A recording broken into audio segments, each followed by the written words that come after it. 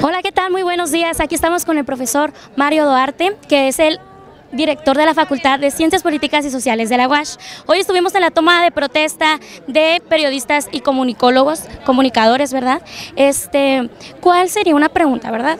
¿Cuál sería la como la participación de nosotros alumnos en la asociación que acaba de, suceder, qué beneficios tendríamos nosotros como alumnos, qué podríamos hacer, cómo nos podríamos animar si queremos participar.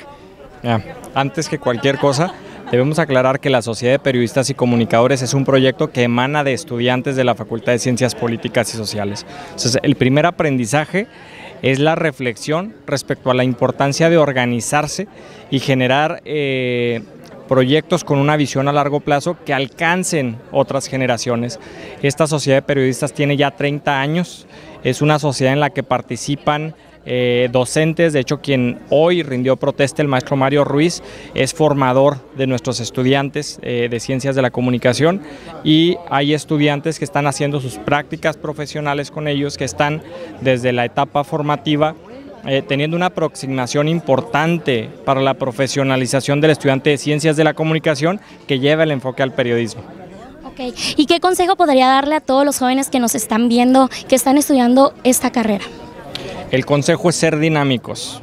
Un estudiante en los tiempos que habitamos debe de entender que las cuatro paredes son para formarnos en lo técnico, pero que su visión debe ser global deben de entender el mundo, deben de habitar las organizaciones, deben de acercarse con quienes ya tienen experiencia. ¿Para qué? Para que la educación sea integral, que sean activos, que tomen el liderazgo y que formen sociedades como la que hoy tomó protesta para que el día de mañana puedan integrar a sus compañeros y que sean una comunidad no solo de universidad, de universitarios en el tiempo presente, sino de universitarios eh, de forma temporal, quienes fueron, quienes son y quienes serán. Debemos de construir esa, esa línea para profesionalizar y para dar una mejor propuesta de solución a las situaciones que la sociedad enfrenta. Ok, muchísimas gracias. Al contrario. Listo. Ay, sorry, es que no tengo voz.